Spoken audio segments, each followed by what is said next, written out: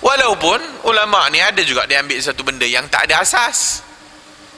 Subhana man la yanamu wa la yasru. Contoh satu je bagi contoh ini. Apa? Sujud sahwi tak? Sujud sahwi. Mana datang? Subhana man la yanamu wa la yasru. Maha suci Tuhan subhana subhana man la ya man la yanamu. Yang tak tidur dan tidak lupa.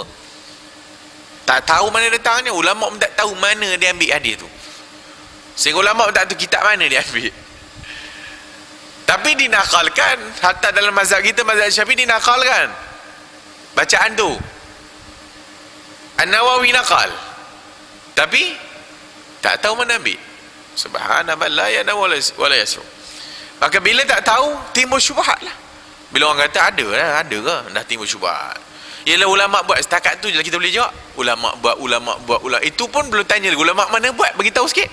Kan? Belum tanya lagi. Nama ulama yang buat tu siapa? Dia bukan ulama buat, ulama buat, ulama buat. Menyebabkan kita still duduk dalam syubhat. Masih still duduk dalam tak yakin. Tahap kita amal ni, ialah kalau betul-betul lah, kalau tak betul, hmm, tak adalah apa. No. Tak betul kau diazab.